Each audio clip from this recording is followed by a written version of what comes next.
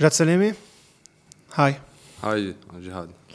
Jad, you're the co-founder and managing partner of Phoenician Funds, uh, one of our uh, newest funds in, in Lebanon. One of the newest, uh, yes. Before we start on Phoenician, tell me more about yourself. So I am, uh, as you said, I am Jad Salameh. I'm managing partner of uh, Phoenician Funds, a venture capital firm uh, based in, here in Beirut. Um, before that, I uh, used to work in consulting uh, with McKinsey in Dubai, uh, focusing on financial services. Uh, and I graduated actually from uh, ESA uh, and with a double diploma from ESCP as well in in as a master's in management, and from AUB and a bachelor's in business administration. Um, I've worked also in London in banking, in investment banking with JP Morgan. Um, and uh, we launched actually the fund in 2000 uh, in December 2015.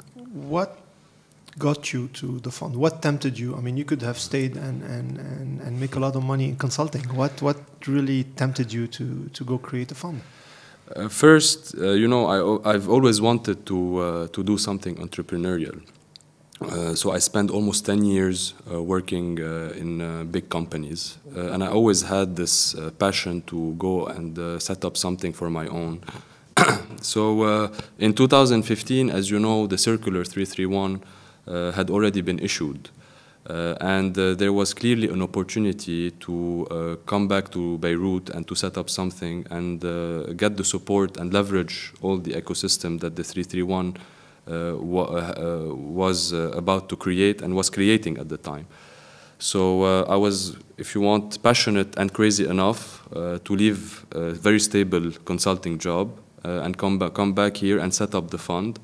Uh, and actually, the Phoenician Fund One, so it's our first uh, fund, is um, is backed by the uh, 331 circular. So uh, it is uh, actually, I mean, everyone. I know. I'm, I'm, I'm asking you this because a lot of, of times, I mean, we can discuss this later, but a lot of time we tend to forget that people who create funds are, in a way, entrepreneurs themselves.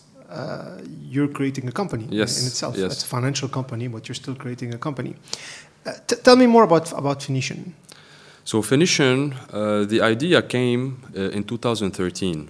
Uh, we, at the time, we were a team of five people working together very closely. And we had this idea of uh, setting up an investment vehicle that invests in technology. Uh, and uh, we, we started shaping this idea together. Uh, and we started also uh, connecting and collaborating uh, with Banque du Liban on how potentially we could help, since there was a program here, and since we were all very, uh, very, you know, in a way attached to our country, and we wanted to contribute to the uh, to the development of this ecosystem. Uh, we decided that it would be also a, good a good idea to go and start co-shaping this with the central bank, and this is what we did. So we started the talks, uh, and at the time, clearly there was, uh, uh, if you want, two gaps that we've identified. Uh, and that resonated quite well with, uh, with the central bank and with the other stakeholders, including our existing limited partners, the banks, the commercial banks in Lebanon, and the financial institutions. One, there was a, a gap in the early stage investment, including seed. And this is what we are among the first funds that codified in our investment strategy the seed level uh, investments. So, what's the upper ticket limit? So we go from uh, 200k up to 1 million dollars. Uh, and when we say $1 million, that includes the follow on. So we usually tranche our investments and we tranche them based on milestones and KPIs. Uh, and this is, of course, these can change with time once you invest in the company, but usually this is what uh, our this is our investment approach. So there was a, clearly a gap in the in the early stage. Uh, and we uh, and we thought, given our expertise and given our uh, advisory experience and uh, our experience in specific uh, uh, sectors, which we can talk about later on, we decided that it would be uh, this combination of our capabilities and filling in the gap at the seed level uh, could be very attractive for the ecosystem in general and for the potential investors. And this is what we did.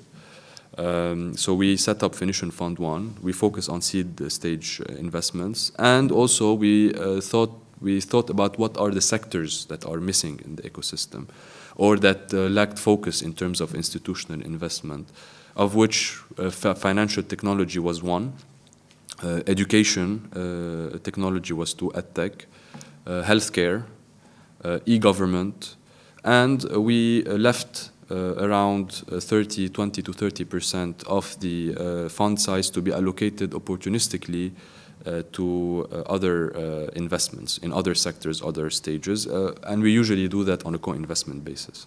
All right. So what does Phoenician bring in addition to the money? I'm an invest. I'm in a startup. I go to see you.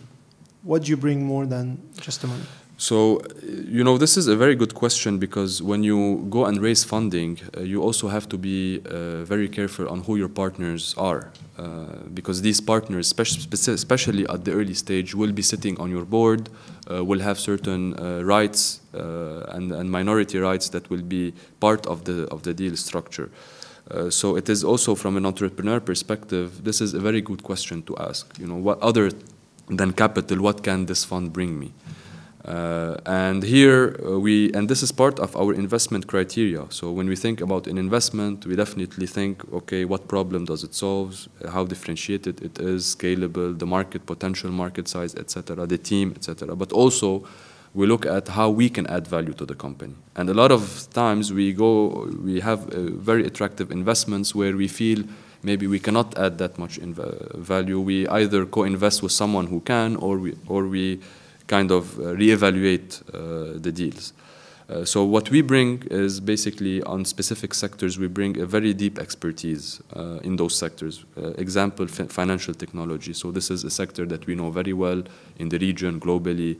Uh, uh, we know the regulations, we know the compliance that, that comes from your experience yes, in the consultancy. This is, comes from our experience. So all your partners are, are in Phoenician are previous most of them. Yeah, most, most, of them. them. Right. Uh, we have entrepreneurs, we have investors, we have uh, we have we are a combination of uh, advisors, okay. entrepreneurs, yeah, and investors. To yes.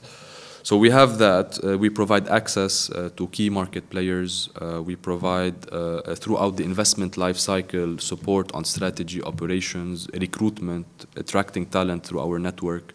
Uh, we, so we kind of also provide potential access to financial sponsors or, or, or, or companies you know, for exit as well. that's interesting. I mean, it, it brings me to, to, to, I think, a question that many people sometimes wonder, especially entrepreneurs, when they go and knock on the door of, of a VC.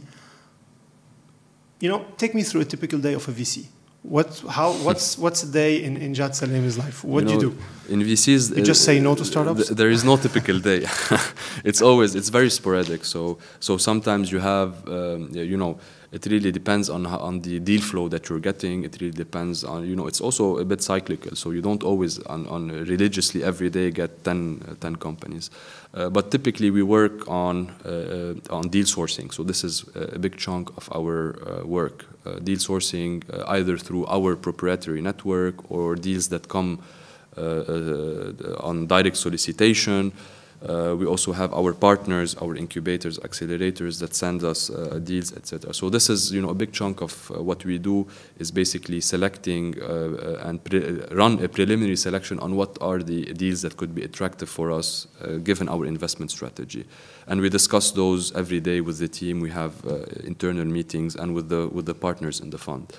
Then we also, for the ones that are selected, we go through uh, what we call uh, a preliminary assessment. Uh, and this is where we prepare a very high level memorandum that we share with our investment committee to get their feedback. And after that, uh, we go and, and all of these run in parallel. So it's not like it's, yeah, exactly. one step after the other. Uh, and after that, you have due diligences that you need to conduct for the investments that that uh, your IC and the, our IC and and the fund has selected etc. You need to go and we execute deals, we do structuring, we help, we monitor the portfolio, which is also a big chunk of our day. And if you see, since we started, so the, uh, the, the percentage of time we used to spend on the investment side was much larger than what we used to spend on monitoring because we were, we were still investing the money. But today you see the, the, the balance uh, tilting more towards monitoring, which is by itself a very different discipline. So you need to really uh, follow up, see how you can support the startups, uh, see how you can uh, help them in creating value, in, in, in potentially going to the next round, or some sometimes take the hard I'm, decision. I'm going to get back to, to, to this, especially to the due diligence, because I think there's a lot of misconception on what the due diligence is and, and, and, should be. Uh, but in, in, in the midst of that, of that very heavy day and, and, and tasks, and you meet a lot of people, by the way. So you meet entrepreneurs. You respond for the ones negative, positive, etc. So how it's, to it's a very iter iterative process. How do I, how I'm an entrepreneur? How do I catch Jad Salameh's interest? What's going to catch your interest? So one is, uh, are you solving a problem, an existing, a real problem, uh, and are you solving it in a differentiated fashion? Uh, and this is something that we, uh, and, it, and the, the problem should not be in isolation of what the market really needs. So a lot of times you see great entrepreneurs, great products, super innovative, tech-wise, etc. Uh, but you, you, you, and then you take a step back and you see that this product has been actually shaped in isolation of what, of what the real market needs. So the first, if you want, uh, thing that strikes us is, okay, is there really, do you feel, do we feel there is really a need for it? Is the market big for this? Is it scalable? This is one very important part. Uh, and if, and, and the, the, the second is, is this company or this founder have a vision?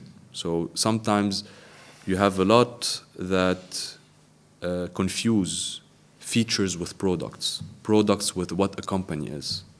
And this is something that you know, uh, we really give a, a, deep thought on when we meet or when we look at an investment. What are you selling us? A feature, a product, a company, a team? One of our, our guests uh, the other day told us, uh, you know, we're, we're asking, uh, asking him about, you know, what makes him an a successful entrepreneur. He said, I have a clear mission. Yes. a clear vision you know they know where they're going exactly and this and it has to be something that that is real as well you know uh, and uh, and the, the third, which is also very important, is the team itself. Is the team fully committed, passionate about uh, about what they're doing? Is are they crazy enough when you have this you know this very big vi mission but and vision? But is all this enough, Jad? Because a lot of times you go with a great project, you're a great team, you have solved the problem, you go, but the fund tell you, look, you're not going to get me the IRR I want you're not going to get me the return on investment I'm, i tend to look for because as a VC, I tend to look. What's, what's the typical IRR you look for? Look, a VC will always tell you, and it depends on the stage. It depends on, uh, uh, on the risk return profile of the investment you're going into. So if, uh, just to give you a bit of analogy, uh, if I am a, a, Series C fund, and I'm investing at a certain valuation and a company has a certain traction, revenue, etc., a full-fledged team, uh, presence in multiple geographies, the risk profile of that investment is very different than when I go into a seed investment where I might have some of the elements in place. I might not have necessarily a revenue or attraction that is proven, validated, but I might have a good product which I believe can get me to that traction and then I would require maybe 10, 15, 20x of return. So it really depends on where, which stage I'm, I'm at, what are the valuations I'm going in into that investment, and what will be. The, so this is where the risk appetite of the fund comes in. Then what's then define for me because we hear it a lot. I hear it a lot. I sit every day with entrepreneurs. I hear it a lot about well, you're not VC material. You know, شو معناتها you're not VC material? So, uh, look, there are core elements uh, for a VC to be able to uh, usually. Now sometimes VCs take risks on people. Sometimes VCs take risk on a crazy idea. Uh, there is no fixed rule. Uh, but usually what you look for are three things. Is this a, a product or value proposition solving a problem? Is the tar is is it do I have some kind of validation on that? So validation can range depending on the type of company but uh, it can range that do I have already uh, some traction uh, can I prove that there is a real need etc um, so this is one thing that that's really important. The other thing is is my market big? Can I scale? Because if I, and scale doesn't mean that always it's volume oriented. It can be also, you know, if you're going B2B, it can be if you crack two or three markets, two or three customers, it will, you, you will be able to scale in terms of, and grow in terms of revenue. Uh, and that also, uh, a fund likes to be a bit uh, reassured that this market exists.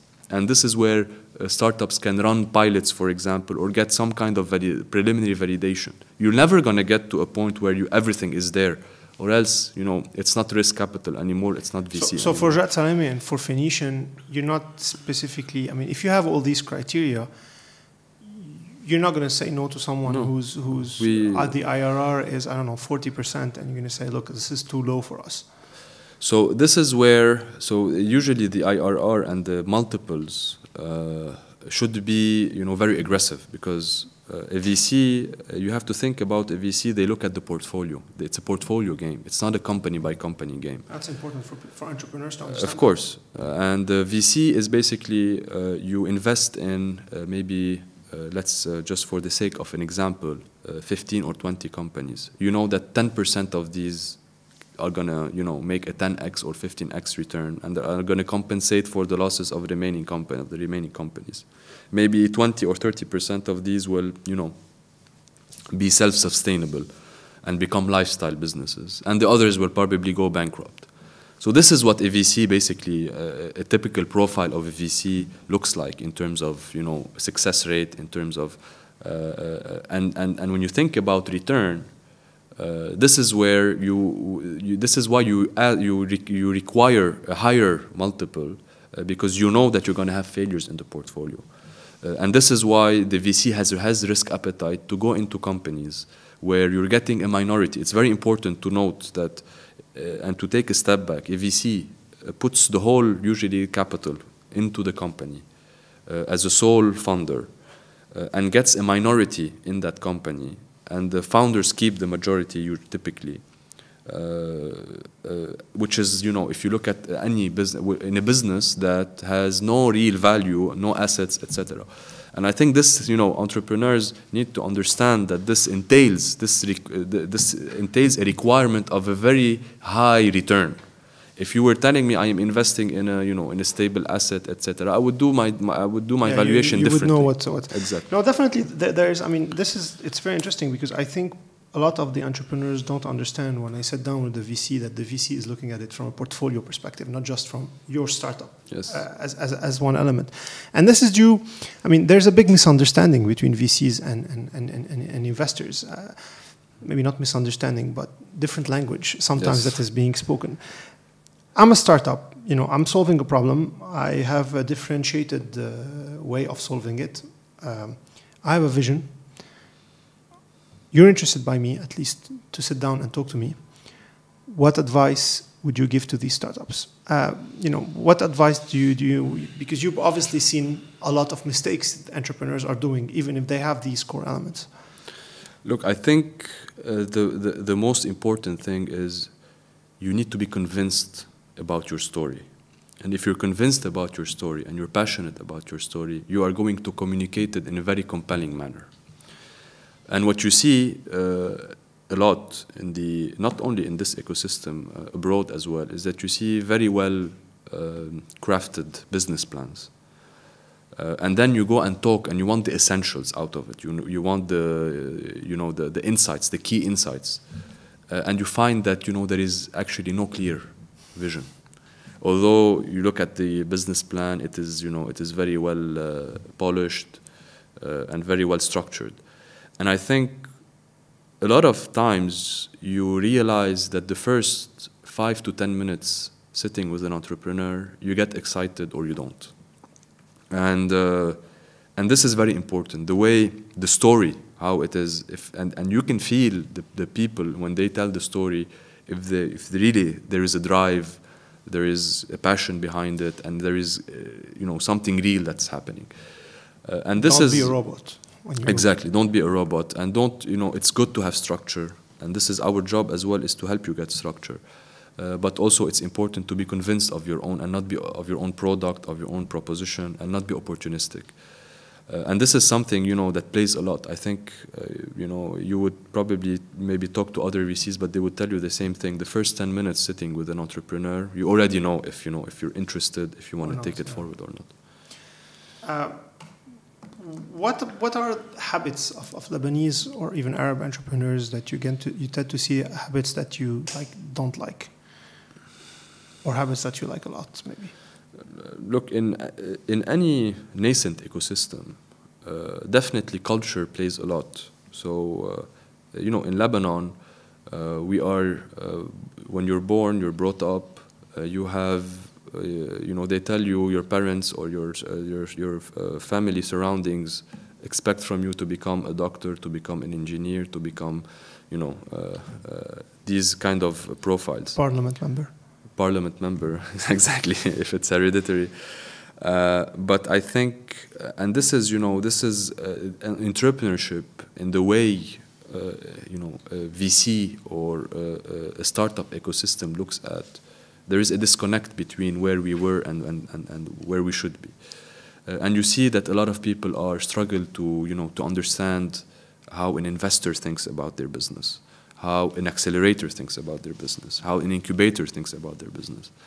Uh, and, um, uh, and this is, uh, and even your own customers and your own users. Uh, and this is something that, you know, it is not a traditional business. It is a business where, you know, you have to be lean, you have to be agile. And this is something that, you know, is, is starting to pick up in the region, but it is something that entrepreneurs struggle, struggle with in the region. Uh, so this is one thing. And also you have all the you know uh, the uh, the rights and the and the legal and the administrative part uh, that is institutional. And you know in the region institutional in this uh, in this segment is new. So you see a lot of resistance as well and a lack of understanding uh, but you know this is with time more and more you see uh, with the the learning curve becoming you know a bit less steep and, and, and I mean, because you opened the topic uh, about I mean you're hinting at the ecosystem where, where it stands today are you overall optimistic on the ecosystem? Uh, yes I'm very optimistic on the ecosystem and uh, you can see that you know when the 331 was launched there was a lot of momentum above the line uh, so you had you know big events you there had a lot of momentum uh, but it was all above the line. And if we look at you know what was really happening on the ground, it was still limited because you know it had it was taking time to set up the uh, VCs to get all the ecosystem aligned with the vision. Now what you see that a lot of things are happening below the line. So you see a lot of investments are, are happening. A lot of money is being invested. A lot of companies are being created. So we've invested in 11 companies since we started. Uh, we uh, other funds, other other new funds are also uh, getting, uh, you know, deploying uh, capital and supporting companies. Uh, which was the activity is is is is is is, is not that uh, is is very um, if you want positive in that sense. Uh, but you know there was there is less momentum around you know the, the whole the, exactly the whole media and the but which is you good, see which, which is good which is healthy which is healthy. And you see a lot of also what is positive is you see a lot of setups that are outside 331 that are being today developed. Uh, so there is a new fund that was launched by uh, the uh, by uh, MIC1 and MIC2. The telecom operators. Exactly, the telecom operators. You see a lot of angel investments, uh, investors, angel networks being set up with a lot of interest. You see also family uh, offices and investment companies. You know a few that are also interested in this ecosystem and investing real money. So you see that at the end of the day, the, it's true that the pieces of the puzzle are a bit, you know, disorganized. But with time, I think we're on the right track. We're to, getting there. Yes. Jad, um, I mean, we, we started this conversation. Uh, we were saying how Phoenician Funds is a startup in itself. Um, you've obviously made some good decisions and some bad decisions. Of course. Um, can you walk us through some of them? Uh, you mean uh, uh in the uh, as part of Phoenician Funds, the company, our company, as a company, or, or your investments? Uh, so look, I think overall the experience was very positive. definitely, you know, you expect to some failures in the portfolio, which is something that is normal. Uh, now we're still, you know, in our early stages of investment. Uh, even our investment period, it's been a year uh, Uh, almost since we've uh, completed our final closing. Uh, but I think that uh, we've learned a lot. So uh, mistakes, maybe not yet. I think maybe we will because it's normal that we have failures and it's part of the game. But are there things we, which we could have done better? Definitely. Uh, so we uh, even uh, you know when we first started we had a very rigid process in place uh, so we had to change it to be uh, more lean and to be quicker in our responses to to entrepreneurs in our execution. Other things that we could do better is basically everything that is related to legal execution and this is taking a lot of time. And I think this is something that we should you know we should maybe work to get more standardized documentation upfront Uh, to because you know in a startup lifetime, uh, three months are equivalent maybe to 10 years in, uh, in other companies. So it's um, uh, it's it's very critical to also uh, try to be quick in this, and we are learning with the you know and the the the administrative process in Lebanon, uh, be it legal, uh, financial, etc., is not easy as well. It's not very optimal. If if you were sitting with with with the prime minister today, or with the government, you're sitting with the Council of Ministers, what would you tell them you need to change ASAP? So there are definitely the obvious, you know, the obvious uh, usual suspects elements, which is infrastructure, internet, electricity, water, transportation. You know, uh, uh I was reading the other day that transport transportation costs us one billion dollars uh, to the economy uh, per year uh, and it's a lot, it's, it's, a big amount of money due to uh, its uh, unoptimal process. Uh, I think uh, these are the obvious ones. Uh, another one is is also on the legal side. So we have to have a legal framework that supports startups in the sense that if you want to set up a company in Lebanon, it costs you three or four times more on average if you want to set up in the UK or if you want to set up in Dubai, in the UAE. And I think this is something that is very important. And even the number of steps is much higher than any other country and the time it takes you to set up a company. So I think that this is something uh, that is, you know, if we can have a legal framework that allows us to be uh, quicker and leaner in terms of cost and, uh, and process, what that else? would be uh, the um, uh, the the second one, which is which which is also very important, is all the legal requirements for a company.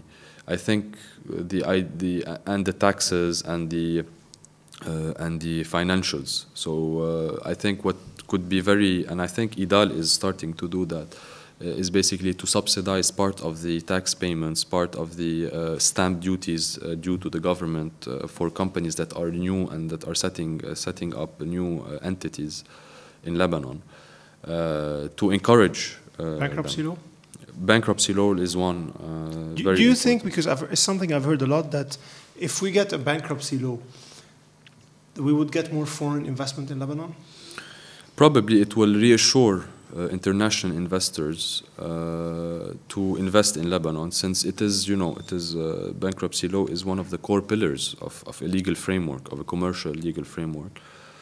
Uh, and also, you know, tax subsidies for these companies for some period of time is also very important. Uh, so today, every time you raise capital, you pay uh, a decent amount on stamp duties, etc which is a burden on the companies. And you know, startups they live off uh, very limited budgets, and they want to create value with very limited uh, money, and these uh, at the end put pressure as well.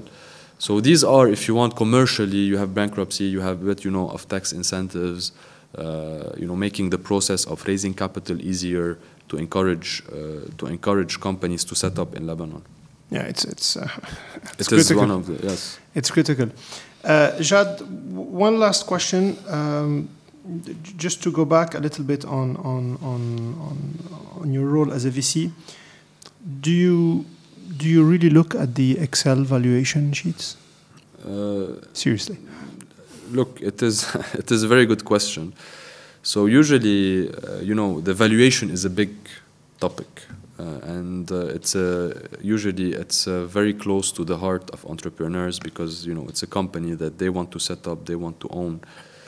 Uh, the way we value investments is uh, there is no scientific way of valuing a startup investment since they are, especially at the early stage, since there are no assets, there are probably no cash positive cash flows, nor maybe no revenues, and um, It's all assumptions. it's all assumptions. So the, basically, what we do is we have three. If you want, we look at it from three different perspectives. The first one is we need to keep the founders incentivized uh, to continue working in the company and to raise additional funding and not get too diluted. So they need you need to keep them with skin in the game. So this is one part that we look at. The second is uh, we look at uh, uh, similar transactions in similar stages, uh, similar sectors, similar setups. What were their valuation to be consistent with our portfolio strategy and to be consistent with the market and the uh, rationale of a, of a valuation. The third one is we look at that we don't really look at, but we, we kind of just test uh, the valuation or we stress test it through an Excel, if you want, DCF model. But this is more for us to validate the uh, economics of the business, to validate the potential of the business, uh, to see, you know, to play around, see when potentially we can break even. But this is not necessarily used for valuation because the discount rate will be also irrational, so to speak. Thank you for your honesty.